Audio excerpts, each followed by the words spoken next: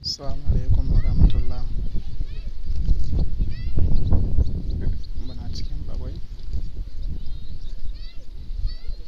Cikin ikon Allah kuma gashi Allah ya nufa na zo da kaina ni Idris Abubakar na tako zuwa Rafin Dam wato dam na bagwai na garin mu kenan.